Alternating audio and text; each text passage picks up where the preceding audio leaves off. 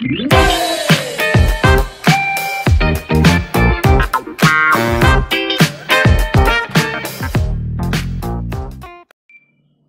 Friends, आज की इस वीडियो में हम लोग देखेंगे डीबीएमएस में जो नॉर्मलाइजेशन का पार्ट होता है, उस नॉर्मलाइजेशन का टेक्निक अप्लाई करके एक प्रॉब्लम को हम लोग सॉल्व करेंगे। तो इस टाइप का जो प्रॉब्लम होता है, ये गेट एग्ज़ाम में एक कंपलसरी क्वेश्चन है। मतलब ये क्वेश्चन हम लोगों का आता ही है। ठीक है? तो क्वेश्चन क्या है? क्वेश्चन है, मेरा एक आर रिलेशन दिया गया है। उसके अंदर ए बी सी डी ई पाँचों एट्रीब्यूट हैं। ठीक है? Check the highest in F मतलब हाइस्ट नॉर्मल फॉर्म हम लोग को यहाँ से निकालना पड़ेगा। ठीक है। और हम लोगों को यहाँ पर चार एफडी दे दिया गया है। तो इन चारों एफडी से हम लोगों को ये जो रिलेशन है, इन रिलेशन में से कौन सा नॉर्मल फॉर्म में है, वो हम लोगों को निकालना पड़ेगा हाईएस्ट नॉर्मल फॉर्म तो हम लोगों को मालूम है कि मोस्ट प्रोबेबली हम लोग चारों नॉर्मल फॉर्म के ऊपर काम करते हैं। एक है one N F two N F three N F और बीसीएनएफ ये चारों नॉर्मल फॉर्म के ऊपर हम लोग काम करते हैं नॉर्मली तो इन चारों में से कौन सा नॉर्मल फॉर्म ये जो रिलेशन है, ये रिलेशन कौन से नॉर्मल फॉर्म के अंदर जाके बिलोंग करता है? तो इसके आंसर जाने से पहले स्टेप बाय स्टेप इसका कुछ प्रोसीड्योर है। तो सबसे पहले स्टेप वन में क्या होगा?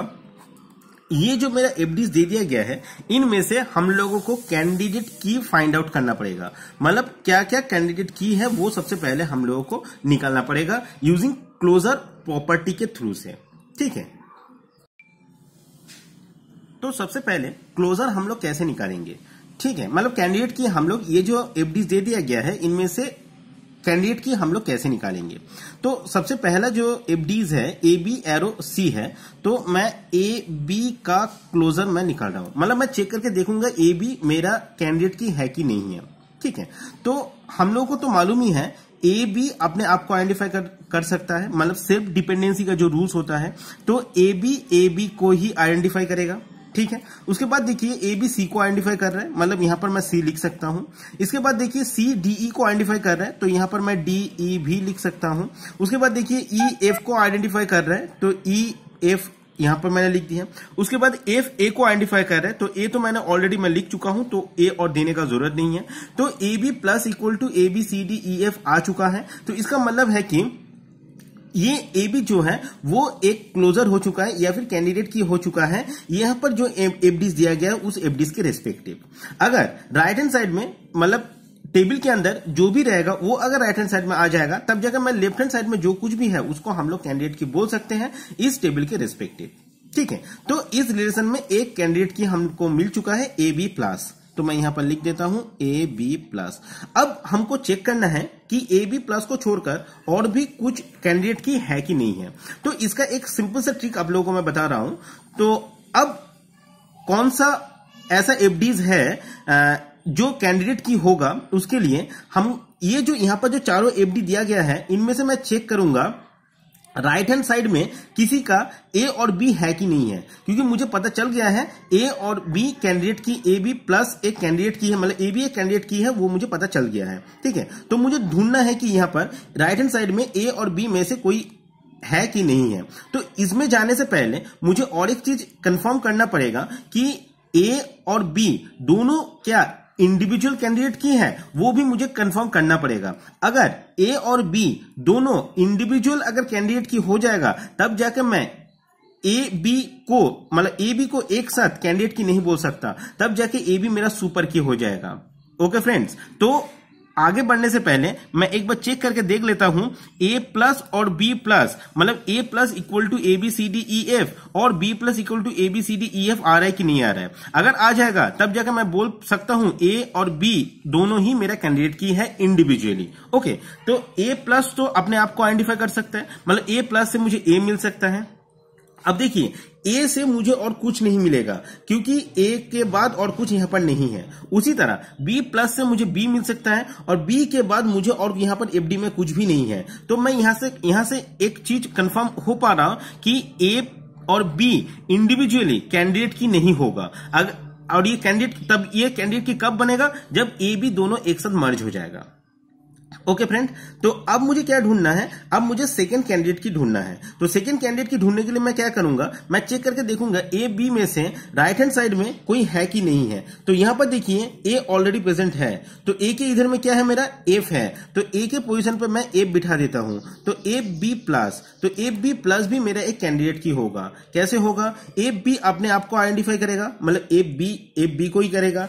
एफ़ ए को आइडेंटिफाई कर रहा है। यहाँ पर ए आ गया। अब यहाँ पर देखिए ए बी ए बी इन सबको आइडेंटिफाई कर रहा है। तो इसका मतलब क्या है? मैं ए बी के पोजीशन पे बाकी जितना भी सारा है वो मैं लिख सकता हूँ। या फिर मैं फिर से चेक करके दिखा देता हूँ। देखिए ए बी सी को आइडेंटिफाई कर रहा है। तो मैं यहाँ पर ए बी यहाँ पर सी को आइडेंटिफाई कर रहा है। उसके बाद सी डी ई को आइडेंटिफाई कर रहा है। तो डी ई यहाँ पर लिख दिया। उसके बाद ई e, एफ़ को आइडेंटिफाई कर रहा है। एफ़ तो ऑलरेडी आ चुका है। तो इसका मतलब ए बी प्लस भी मेरा एक कैंडिडेट की बन चुका है। तो यहाँ पर भी मैं लिख देता हूँ ए बी प्लस इसके बाद वही सेम टेक्निक एकदम सिंपल सा एफ़ बी में से राइट हैंड साइड में देखूँगा कहीं पर एफ़ या बी है कि नहीं है। हाँ यहाँ पर एफ़ है तो एफ़ किसको आइडेंटिफाई कर, कर रहा है? ई e को मतलब ई e के थ्रू से मैं एफ़ को आइडेंटिफाई कर पा रहा हूँ तो एफ़ के पोजीशन पे मैंने ई e को बिठा दिया। मतलब अब मैं चेक करूँगा ई बी प्लस मेरा कैंडिडेट की है कि नहीं है। तो E B plus E B को ही आइडेंटिफाई करेगा, ठीक है? ई e एफ़ को आइडेंटिफाई कर रहा है तो यहाँ पर एफ़ को लिख दिया। अब बी एफ़ या फिर एफ़ बी एफ़ बी देखिए, इन सबको आइडेंटिफाई कर रहा है तो बाकी सबको मैं इजीली यहाँ पर लिख सकता हूँ। या फिर अगर आप लोगों का प्रॉब्लम है तो F arrow A F A को आइडेंटिफाई कर रहा है ए बी हो चुका है ए बी किसको आइडेंटिफाई कर रहा है? सी को आइडेंटिफाई कर, रहा है। सी किसको आइडेंटिफाई कर रहा है? सी डी और ई e को आइडेंटिफाई कर रहा है। तो मैं यहाँ पर डी लिख दिया क्योंकि ई e तो मैं ऑलरेडी लिख चुका हूँ। तो ई e भी प्लस भी मेरा एक कैंडिडेट की बन गया है। अब ई e और बी में से राइट हैंड साइड में कोई और है? हाँ है। यहाँ पर ई है। तो ई ई किसके द्वारा आइडेंटिफाई हो रहा है? सी के द्वारा आइडेंटिफाई हो रहा है। तो सी के पोजिशन पे सॉरी ई e के पोजीशन पे मैं अब सी लिख सकता हूँ। तो सी बी प्लस अब मुझे चेक करना है कि सी बी प्लस भी कैंडिडेट की है कि नहीं है। तो C B plus C B को आइडेंटिफाई करेगा, ठीक है? उसके बाद बी सी डी ई को आइडेंटिफाई कर रहा है तो डी ई e को लिख दिया ई e एफ़ को आइडेंटिफाई कर रहा है एफ़ लिख दिया एफ़ ए को आइडेंटिफाई कर रहा है ए लिख दिया। तो सी बी प्लस भी मेरा एक कैंडिडेट की बन गया है। E B plus comma C B plus भी मेरा कैंडिडेट की बन गया है।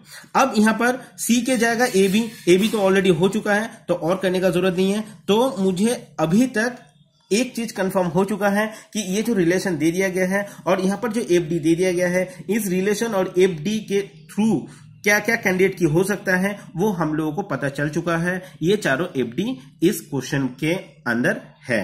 मतलब नॉर्मली हम लोग का ऐसा भी क्वेश्चन आता है, एक रिलेशन दे दिया जाता है, कुछ एफडी दे दिया जाता है, उसके बाद बोल बोल दिया जाता है क्वेश्चन में find out the candidate key from the following FDs ठीक है, तब जाके यहाँ पर ही मेरा ये आंसर खत्म हो जाएगा। पर अभी मेरा जो क्वेश्चन है, इस क्वेश्चन में हाईएस्ट एफ़ एन एफ़ निकालने के लिए बोला गया है। ठीक है तो उसके लिए क्या करना पड़ेगा? अब सेकेंड स्टेप में जाना पड़ेगा। स्टेप टू स्टेप टू में क्या होगा? अब हम लोगों को निकलना है कि प्राइम एट्रीब्यूट और नॉन प्राइम एट्रीब्यूट कौन कौन सा है। मतलब प्राइम एट्रीब्यूट होगा कैंडिडेट की के अंदर कैंडिडेट की के अंदर मतलब जो जो एट्रीब्यूट देकर मेरा कैंडिडेट की डिज़ाइन होता है, उसी को हम लोग प्राइम एट्रीब्यूट बोल सकते हैं। जैसे कि यहाँ पर जो रिज़ल्ट मिला है मुझे, उसके हिसाब से मेरा प्राइम एट्रीब्यूट होगा ए बी सी मैं अल्फाबेटिक ऑर्डर में लिख लेता हूँ ई e और एफ़ ये पाँचों होगा मेरा प्राइम एट्रीब्यूट ठीक है? और नॉन प्राइम एट्रीब्यूट क्या होगा? इन पाँचों को छोड़कर और जो बचा हुआ है, सिर्फ़ डी ही बचा हुआ है तो डी हो गया मेरा नॉन प्राइम एट्रीब्यूट ठीक है? अब होगा step three step three step three में मुझे क्या फाइंड आउट करना है? फाइंड आउट करना है कि हाईएस्ट नॉर्मल फॉर्म हमको फाइंड आउट करना है। तो मेरे पास चारों एफ़ डी दिया गया है। A B arrow C C arrow D E E arrow F E arrow F और एफ़ एरो ए ये चारों मुझे दिया गया है। अच्छा ये जो चारों एफडीज है, इन चारों एफडीज में से अब मुझे चेक करना है कि ये कौन सा फॉर्म में है। तो सबसे पहले जो सबसे हाईएस्ट फॉर्म है, वहीं से हम लोग चेक करना स्टार्ट करेंगे। मतलब बी सी एन एफ़ से हम लोग चेक करना स्टार्ट करेंगे, क्योंकि बी सी एन एफ़ सबसे हाईएस्ट फॉर्म में है। ठीक है? तो बी सी एन एफ़ इन चारों एफडीज में से मुझे एफडी को चेक करना पड़ेगा कि कौन कौन सा एफडी मेरा बीसी एन एफ़ फॉर्म में आता है। तो बीसी एन एफ़ का डेफिनेशन होता है कि एफडी का जो लेफ़्ट हैंड साइड में होता है लेफ़्ट हैंड साइड में जो होता है, वो क्या कैंडिडेट की है? मतलब ये जो चारों एफडी है, इन चारों एफडी का जो लेफ़्ट हैंड साइड है, लेफ़्ट हैंड साइड में जो भी है, वो क्या कैंडिडेट की है? अगर वो कैंडिडेट की होगा, तब जाके मैं बोल सकता हूँ, वो जो एफडीज है, वो मेरा बीसी एनएफ पे है। तो इसमें देखिए, लेफ़्ट हैंड साइड में मेरा ए बी है तो ए बी मेरा, मैं तो पहले ही फाइंड आउट कर चुका हूँ कि ए बी मेरा एक कैंडिडेट की है। तब जाकर मैं बोल सकता हूँ कि बीसी एनएफ मेरा एक ए बी एरो सी जो है, वो बीसी एनएफ के अंदर आ सकता है। तो यहाँ पर जो है, यहाँ पर देखिए लेफ़्ट हैंड साइड में मेरा सी है तो सी तो मेरा कैंडिडेट की नहीं था तो इसीलिए ये बीसीएनएफ नहीं होगा। यहाँ पर लेफ़्ट हैंड साइड में ई e है ई e भी मेरा कैंडिडेट की नहीं था तो इसीलिए ये भी मेरा बीसीएनएफ नहीं होगा। एफ़ एफ़ भी मेरा कैंडिडेट की में नहीं था, इसीलिए ये भी मेरा बीसीएनएफ नहीं होगा। तब जाकर मैं ये देखकर बोल सकता हूँ कि ये जो रिलेशन दे दिया गया है, या फिर एफडीज दे दिया गया है, वो मेरा बीसीएनएफ में नहीं है। तो मतलब एक भी, अगर एक भी क्रॉस हो गया, तब जाके मैं उसको बोल दूँगा कि वो बीसी बीसीएनएफ में नहीं है। ठीक है? तो यहाँ पर तो तीन तीन क्रॉस आ चुका है। अब मैं इसको चेक करूँगा कि ये मेरा थ्री एनएफ है कि नहीं है। तो अब यहाँ पर देखिए बीसीएनएफ का जो डेफिनेशन था बीसीएनएफ का डेफिनेशन यही था कि सबसे पहले उसको थ्री होना पड़ेगा। तो इसका मतलब क्या है? अब अगर ये बीसीएनएफ में आ चुका है तो मुझे अब ये इसके, इसको अब मुझे थ्री के लिए चेक करने का ज़रूरत ही नहीं है, क्योंकि अब ये मेरा थ्री में होगा ही होगा। ओके okay, क्योंकि बीसीएनएफ का डिफिनेशन ही बता रहा है कि अगर ये बीसीएनएफ होगा तो उससे पहले उसको थ्री होना पड़ेगा। तो तब इसका मतलब क्या है? ये मेरा थ्री तो होगा ही होगा। तो इसको मैंने टिक लगा दिया। अब इन तीनों में से चेक करना है कि कौन कौन सा थ्री के अंदर आता है।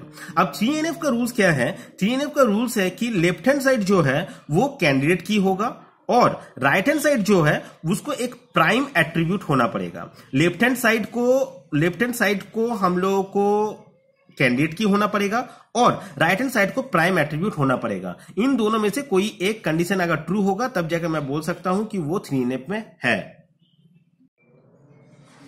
तो अब मुझे चेक करना है कि दोनों में से कोई एक कंडीशन अगर सेटिस्फाई होगा, तब जाकर मैं उसको बोल सकता हूँ कि वो रिलेशन मेरा थ्री एन में है।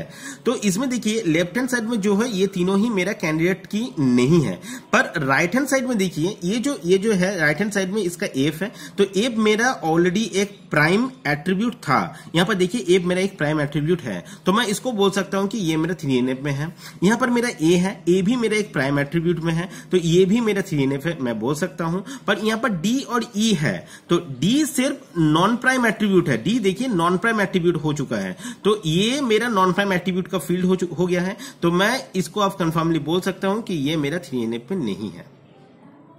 ओके अब मुझे चेक करना है कि टू एन है कि नहीं है। तो एक नहीं है तो इसका मतलब हाईएस्ट इसका जो एफडी बोला गया है वो मेरा थ्री एन नहीं होगा। मतलब ये जो चारों चारों एफडी दिया गया है चारों में टिक होना पड़ेगा। मतलब चारों ही अगर ट्रू होगा तब जाके मैं बोल दूँगा कि वो उस नॉर्मल फॉर्म में है ओके अब टू एन एफ़ में हमको चेक करना है तो टू एनएफ में देखिए अगर ये मेरा थ्री एन एफ़ है तो आँखें बंद करके मैं बोल सकता हूँ ये मेरा टू एन एफ़ होगा क्यों होगा क्योंकि थ्री एन एफ़ का डेफिनेशन ही था कि सबसे पहले उसको टू एन एफ़ होना पड़ेगा तो इसका मतलब ये मेरा टू एन एफ़ हो गया ये भी मेरा थ्री एनएफ में था तो ये भी मेरा टू एन एफ़ हो जाएगा ये भी मेरा थ्री एन एफ़ था ये भी मेरा टू एनएफ में होगा ठीक है? अब मुझे चेक करना है कि ये जो है ये मेरा टू में होगा कि नहीं होगा। तो टू का जो फॉर्मूला है टू का फॉर्मूला फॉर्मूला बता रहा है कि पार्शियल डिपेंडेंसी नहीं होना चाहिए। तब जाके मैं उसको बोल दूँगा कि वो मेरा टू में होगा। पार्शियल डिपेंडेंसी नहीं होना चाहिए। अब पार्शियल डिपेंडेंसी का मतलब क्या है? पार्शियल डिपेंडेंसी का मतलब होता है कि आ, जो आइडेंटिफाई होगा मतलब यहाँ पर जो आइडेंटिफाई हो रहा है राइट हैंड साइड में जो आइडेंटिफाई हो रहा है वो मेरा, अगर कोई नॉन प्राइम की को आइडेंटिफाई करेगा, ना राइट हैंड साइड में जो आइडेंटिफाई हो रहा है, उसमें अगर कोई नॉन प्राइम की रहेगा, तब जाके वो पार्शियल डिपेंडेंसी होल्ड कर जाएगा।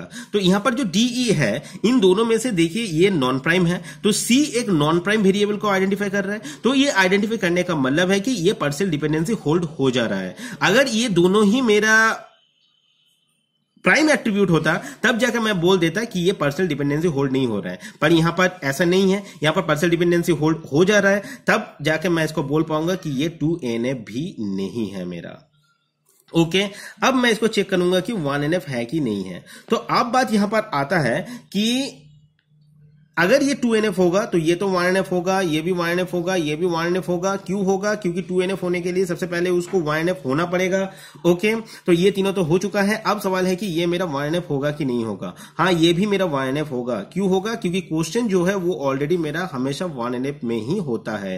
एफ़ मतलब एटोमिसिटी का जो रूल्स है, वो रूल्स वो होल्ड हमेशा ही करता है। ठीक है? तो मेरा यहाँ पर क्वेश्चन में था कि हाइस्ट नॉर्मल फॉर्म क्या होगा? आंसर होगा मेरा वन एन या फिर कुछ कुछ क्वेश्चन में ऐसा बोल दिया जाता है कि समझ लो कि मेरा जो रिलेशन दे दिया गया है, वो ऑलरेडी वन एन एफ़ में है। कि अगर बोल दिया जाएगा, तब भी वो वन एन एफ़ लेकर करना पड़ेगा। अगर नहीं बोल दिया जाएगा, तब भी हम लोग को मान लेना पड़ेगा कि मेरा जो रिलेशन है, वो ऑलरेडी वन एन एफ़ में है। तो ये जो क्वेश्चन है, इस क्वेश्चन का आंसर होगा मेरा one N F highest normal form क्या होगा? वन एन एफ़ होगा मेरा हाइस्ट नॉर्मल फॉर्म तो फ्रेंड्स अगर आप लोगों को मेरा ये वीडियो पसंद आता है तो मेरा जो चैनल है, उसको सब्सक्राइब कर देना। साथ ही साथ बेल बटन को भी प्रेस कर देना, क्योंकि जब भी मैं कोई न्यू वीडियो अपलोड करूँगा, उसका नोटिफिकेशन आप लोगों के पास पहुँच जाए। Thank you friends